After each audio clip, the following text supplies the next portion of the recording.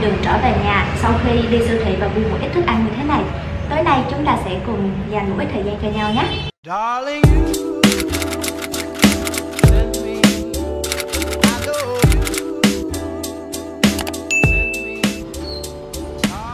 Hello các anh em, mình là Hà Sơn Mì, một cô gái đang tập sống tối giản. Nếu không phải hẹn hò hay là ăn tối với bạn bè, thì mình thường trở về nhà luôn. Mình có thể mua một ít thức ăn trên đường đi để tiện chuẩn bị cho buổi tối. Vì mình thực sự rất là lười, lười, lười kinh khủng khiếp khi mà đã trở về nhà rồi. Mình chẳng muốn ra ngoài thêm một lần nào nữa, nếu mà không có việc gấp hay thực sự không cần thiết.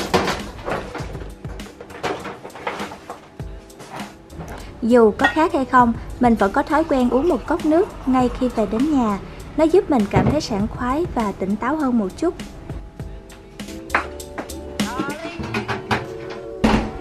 Giờ thì mình thay dép nha. Hồi trước thì mình hay đi chân trần trong nhà lắm, nhưng mà gót chân của mình bị chai sần khá nhiều nên mình quyết định đi dép, vừa sạch sẽ vừa bảo vệ được đôi chân của mình.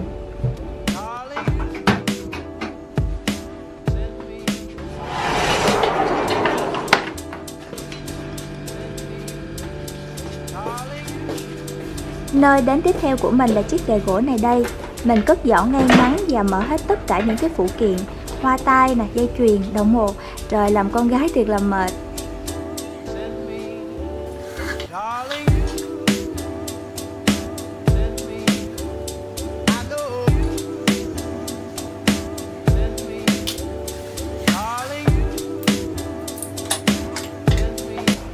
Yeah, và đã đến lúc mình phải cởi bỏ chiếc áo blazer này ra máng trên sào. Blazer luôn là một trong những chiếc áo mình thích nhất và cũng sở hữu nhiều nhất. Đơn giản vì nó vừa thanh lịch trendy và ít nhiều thì cũng cá tính nếu mà mình biết phối hợp á. Mình sẽ thay một bộ pyjama ra cho thoải mái hơn.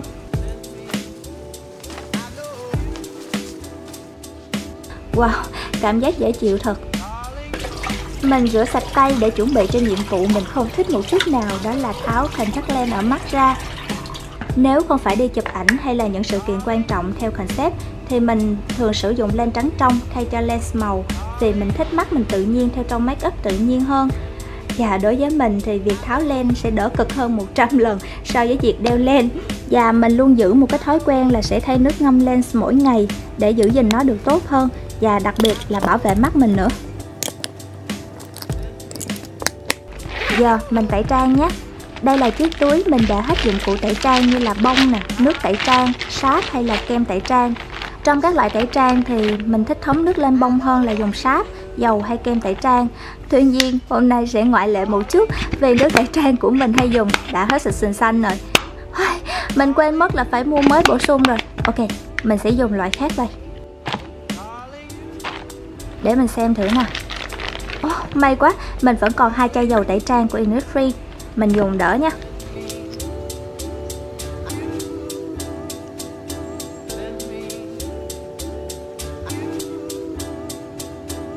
Một tip nhỏ mình muốn chia sẻ với các bạn là mình hay dùng tăm bông thấm một ít dầu tẩy trang dành riêng cho mắt và môi để tẩy sạch các cái khóe và hốc mắt.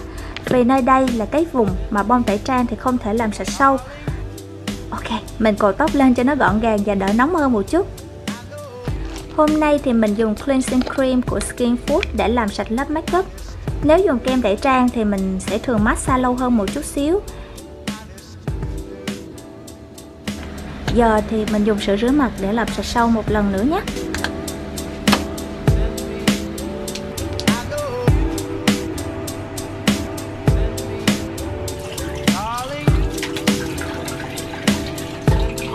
Với một đứa còn nặng như mình thì không thể thiếu người bạn đồng hành này được.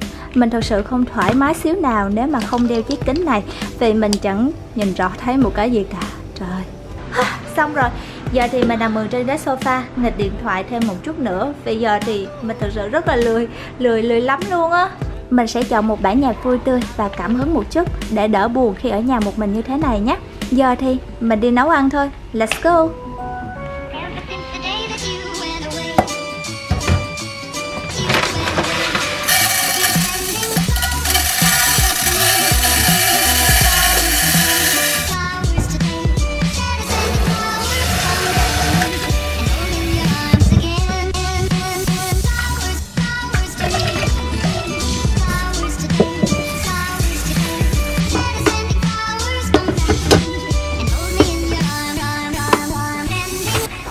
Mình mua được gì cho buổi tối? Các bạn có đoán được không? Ok, giờ thì tụi mình cùng khám phá nha. Đầu tiên là một ít cải ngọt vì mình thích ăn rau xanh lắm. Tiếp theo đó là một miếng đậu hũ. Còn đây là một miếng thịt heo. Có cả măng tre Gia vị và một hộp trứng nữa.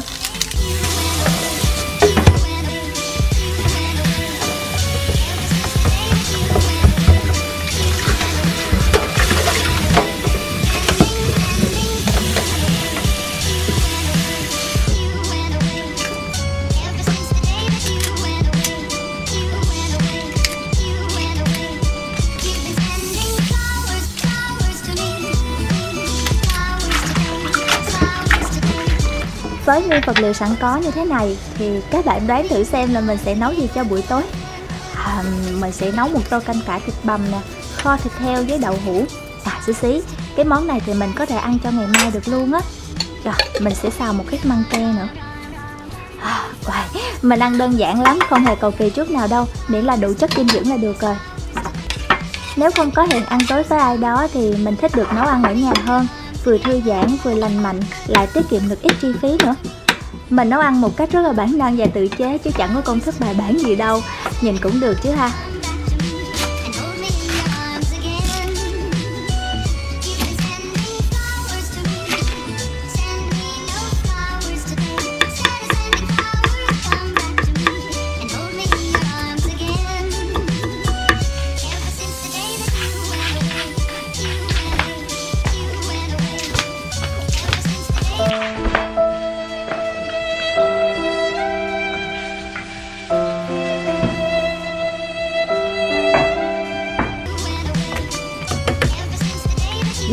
Đã nấu ăn xong, mình sẽ bật máy tính lên, mở một cái tập phim hay hay để vừa ăn cơm vừa xem nha. Và bộ phim mình theo dõi hôm bữa giờ đó là Hoa hồng trên ngược trái và tiếng sét trong như Công nhận là hai phim này khá là hấp dẫn luôn á.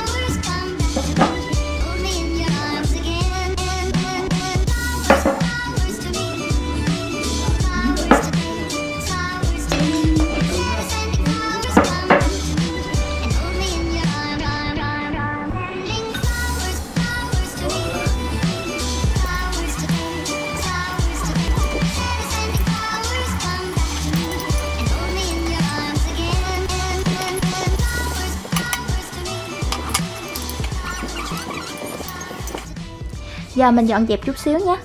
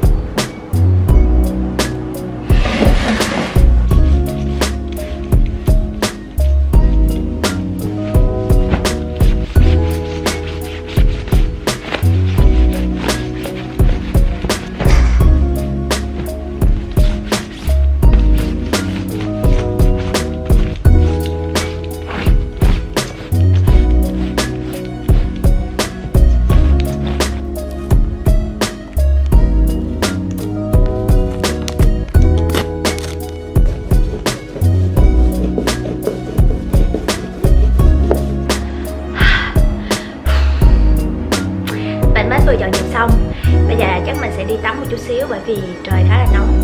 Và sau đó thì cho mình skin care mà mình muốn kiếm một cái gì đó để uống cho giải stress. Và mình sẽ bắt đầu làm một số công việc vào buổi tối.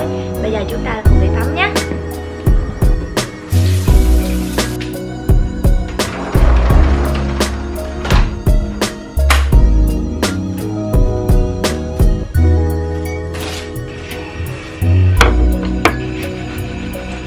Mình có một tip nhỏ muốn chia sẻ cho những bạn nào mà không có dụng cụ phát cam như mình là, bạn hãy dùng một miếng vải von sạch để lọc hạt cam ra nhé.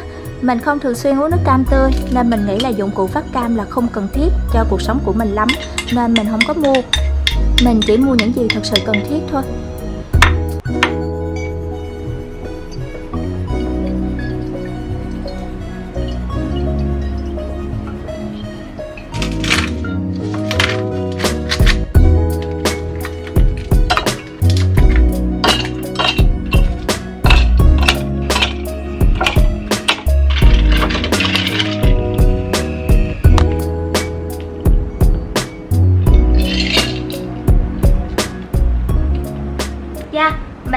Freelancer và công việc đặc thù của mình là sáng tạo nội dung.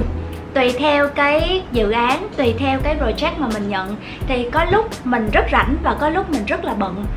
Và công việc của mình thì không thua kém bất kỳ một bạn nhân viên văn phòng 8 tiếng nào, chỉ có điều khác ở một chỗ là mình sẽ làm việc ở nhà hoặc ở ngoài hoặc bất kỳ nơi đâu mà mình thích không phải đến công ty hay chịu sự quản lý của bất kỳ cá nhân hay tổ chức nào hết, nhưng tụi mình còn phải có sự chủ động và sắp xếp trong công việc rất là lớn.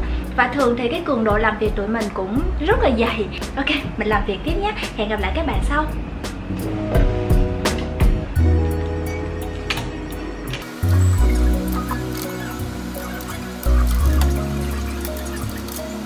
Không biết các bạn gái như thế nào nhưng thực ra thì cái quá trình skincare routine của mình rất là đơn giản chỉ dừng lại hai bước thôi.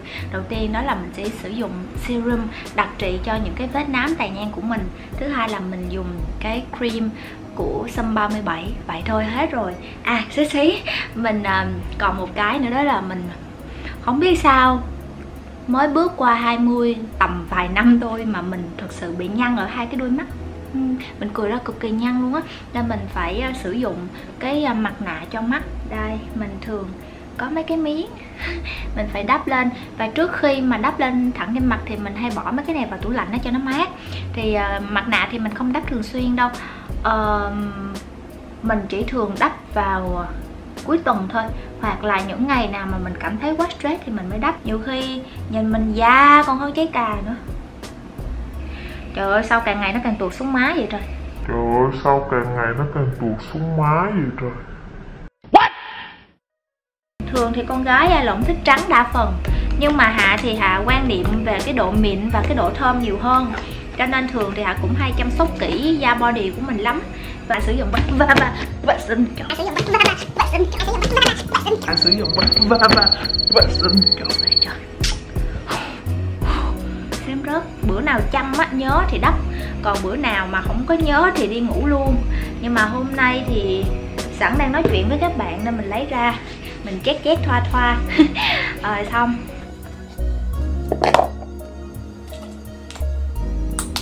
Mình sẽ cho một ít tinh dầu để không gian dễ chịu hơn và ngủ được ngon hơn.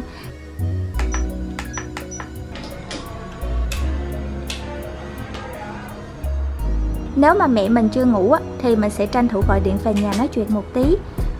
Buổi tối thường ngày của mình chỉ thế thôi, đơn giản, bình lặng và nhẹ nhàng. Còn buổi tối của các bạn thì sao? Nhớ kể mình nghe nhé. Bye bye, chúc các bạn ngủ ngon. Nhớ kết nối và trò chuyện cùng mình. Đừng quên nhấn nút subscribe và nhấn chuông để chúng ta có cơ hội gặp lại nhau nhé. Cảm ơn các bạn, love you.